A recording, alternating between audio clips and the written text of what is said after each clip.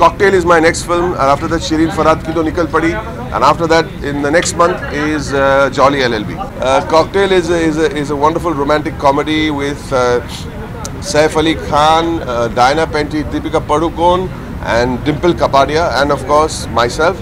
Uh, Homi Adajania, who directed Being Cyrus, has directed it. I think it's a, it's a very fresh uh, and uh, uh, film with a very youthful bent to it.